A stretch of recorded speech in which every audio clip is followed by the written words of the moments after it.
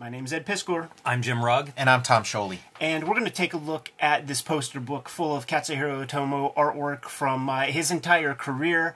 Uh, you know, we did Akira Club recently, got a lot of feedback where people were like, can you guys please look at something that we could actually go out and buy and not have to mortgage the house? This is the book uh, that, that is out there uh, that's reasonably accessible. But first, Jimmy, what do you have?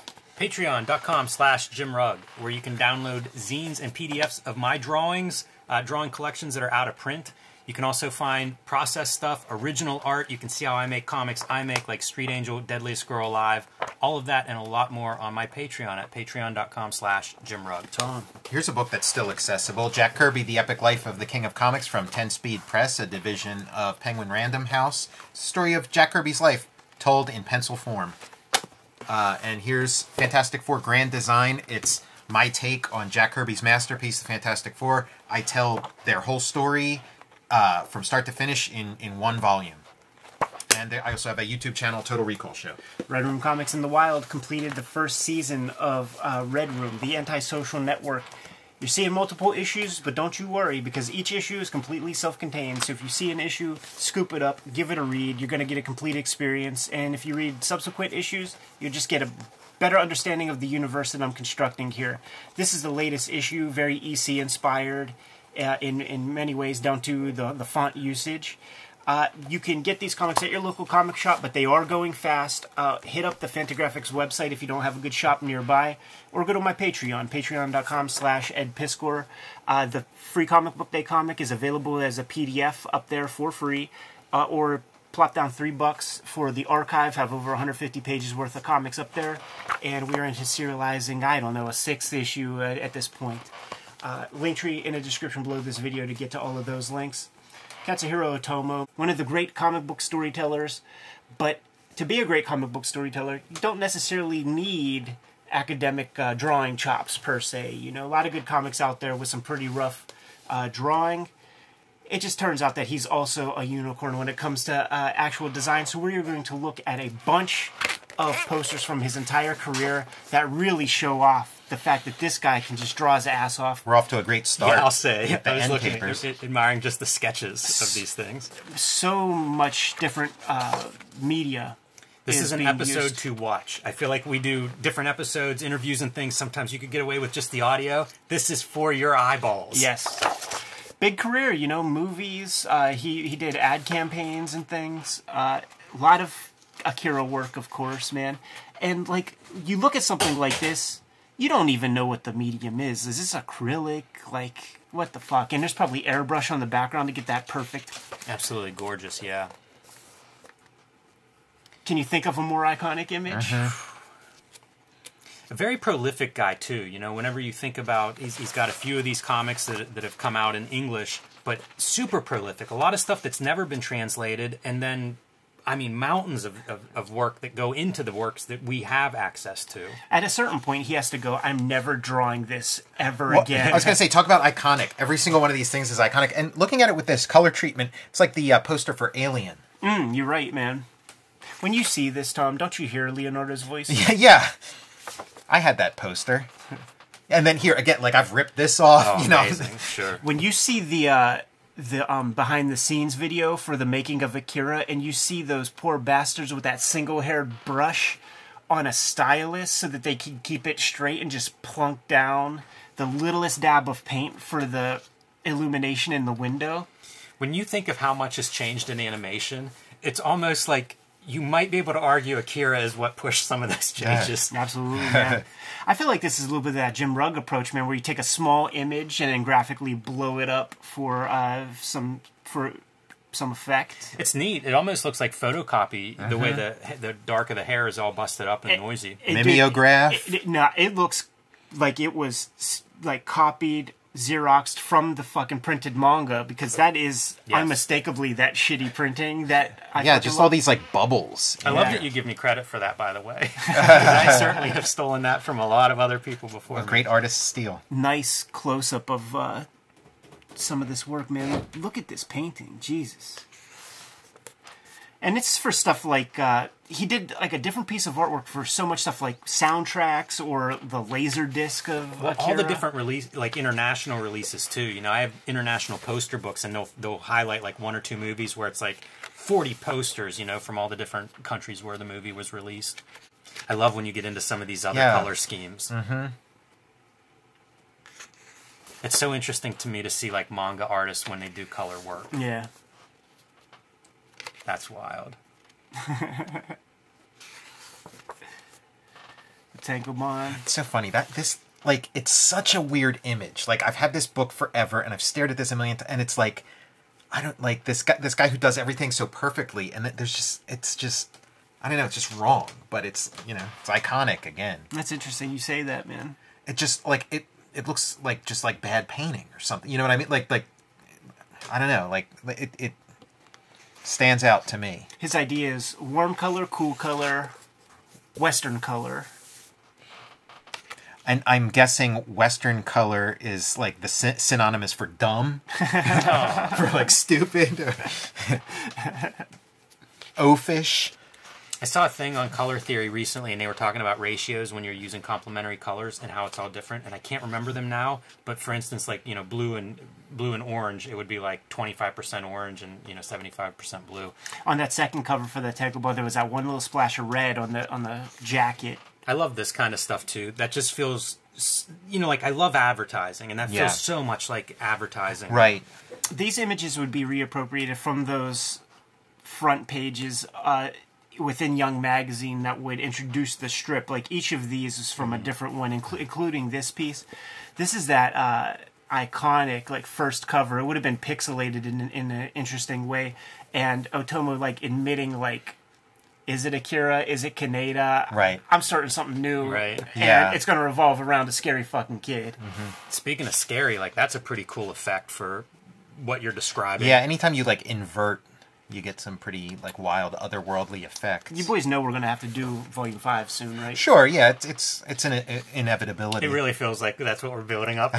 I think so. Yeah. We were talking about that yeah, stuff. that's pretty exciting. Yeah, in in uh, the Akira Club book, he was talking about like getting this up on.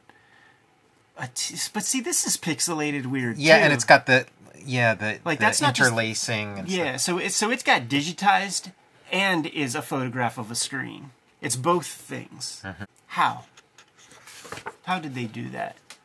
Yeah, I wish I had more to uh, more insight. You know, it's just such a pleasure to look at this stuff. Right. Wow. Yeah. See, like yeah, don't know that I've ever seen that. Wow, that's really cool. And the upside down component is a choice. You see, you didn't know that uh, Katsuhiro Otomo did a Supreme cover for Rob Liefeld, but, but now you know. That's spectacular. Yeah. It's so hard to make something like that lunar surface really pop. I mean, that's the only element. You know, it's it's eighty five percent of what we see here, and it's gorgeous. Like I can be looking at craters over here and be happy for a while. Absolutely, man. It's that thing that we were talking about, looking at like uh, you know McFarlane stuff, where now you get to zoom in on a hand, and how do you make that thing interesting, and where do you apply, you know, some shading and detail and stuff. The only difference is this feels pretty accurate. It's starting to get into uh, epic comics. Yeah, and it feels very like '80s movie poster. Like Look at that. All of it. You know, like it's such a fun pose. It's it's that that's your Western kind of pose. Yeah, I'm still f- trying to figure out what he meant by Western, like like like like the Wild West, or like No, like Western, American. like American. Like a- like so is it like like like the double lighting where Must be something Is that like it? that. Yeah, just trying to. I feel like what- if you're coming out of the '80s, that that was something that was popular in like '80s films. And, mm-hmm. Yeah, like a Tony Scott. yeah, kind of totally. thing. I was thinking Miami Vice. So, Yeah. yeah. Here it is, man. Uh, the magnetic rose, man. Memories. The the anime, and uh, I think the name of their ship was called the Corona. So you just can't escape it. You can't escape it. See, that's that. That's one of those time things where a big enough event has ripples that go in the past. right. One of those uh, iconic images, man. Jim, you gotta get off those uh, conspiracy theory websites.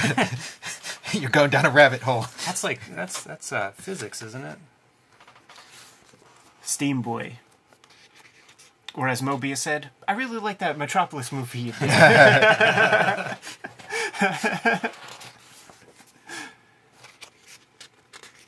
These are very beautiful images too. This was that era too, man, where it's like you saw Otomo's name on something, couldn't wait for this to go to your Hollywood video.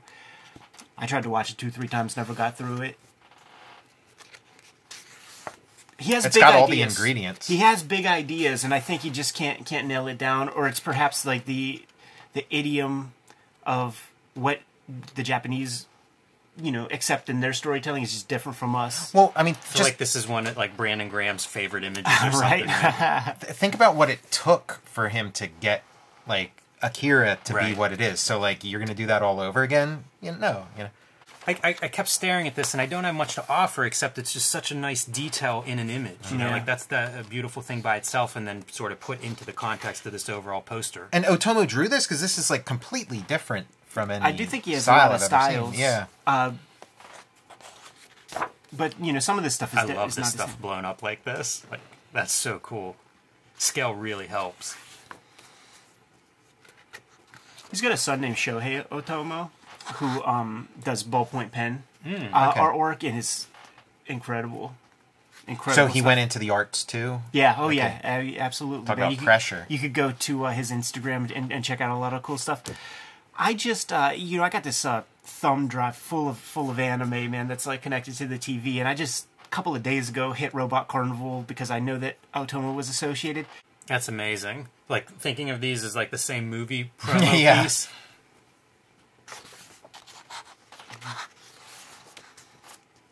Guess he's doing some actual graphic design.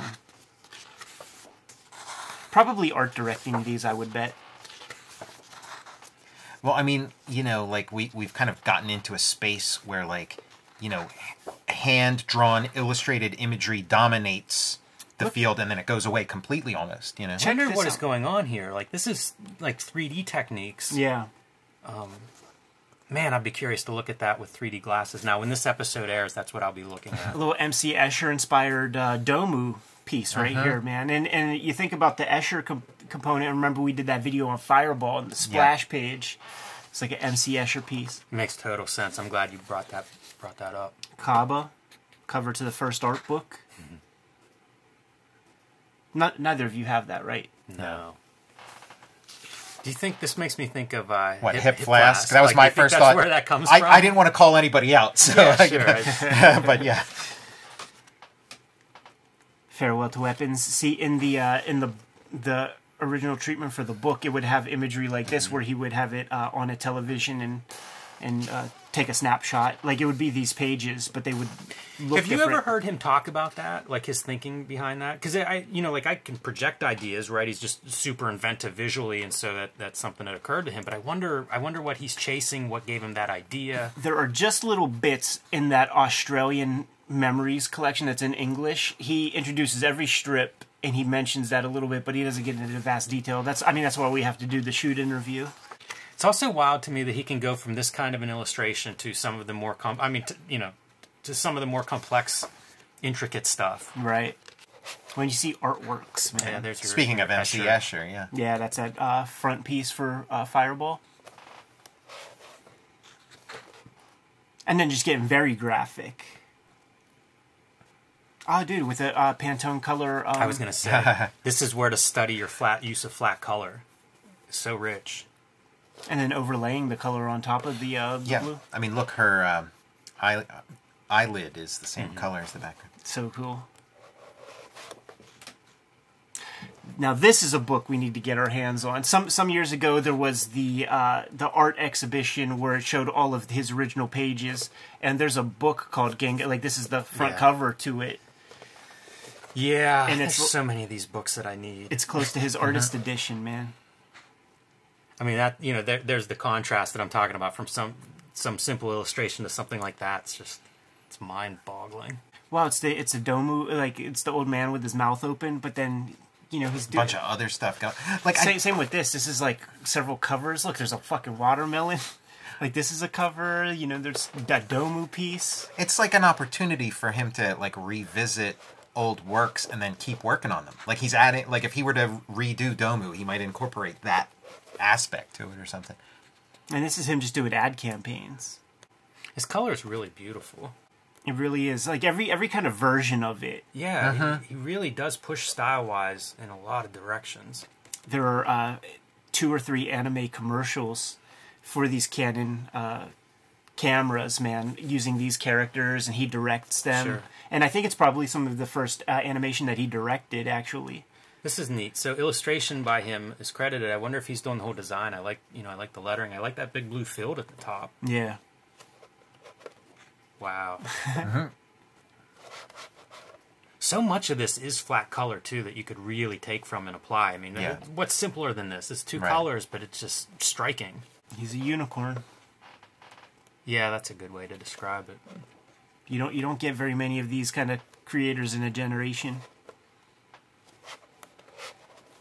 And then in the back we get the slightest little bit of of English, uh, kind of talking about some of the different the different pieces in here. Get your magnifying glass out. But yeah, sure, but still pretty superficial. Like it's just like, please just let me ask the question. Like Yeah, let, right. let us ask the questions, man, because we're just not getting to the root of anything, you know.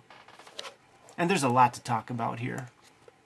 This is a nice. This looks like it's um uh, information on each of the posters, or Yeah. at least maybe each of the major campaigns or whatever we've looked at. Yeah, I always exactly. appreciate whenever these art books do this. Yeah, little something. Let me let me see at least some context for what I'm looking at. Yeah, a little something. Anyhow, man, you guys asked, Wow. and uh, you shall receive, man. This is the book that you can run out and get for I don't know about forty bucks. That's of that's as of right now. Uh, the subscribers to the Cartoonist Kayfabe YouTube channel obviously get first dibs over there at Amazon. So who knows if it's even available What's anymore? under the dust jacket? Huh. What are we looking at here? Uh, just some of the Train work in the wild. Some of the work in the wild, man. It, it, it's exhausting to me to look at a book like that. Like I feel like my eyes are just wiped out after that.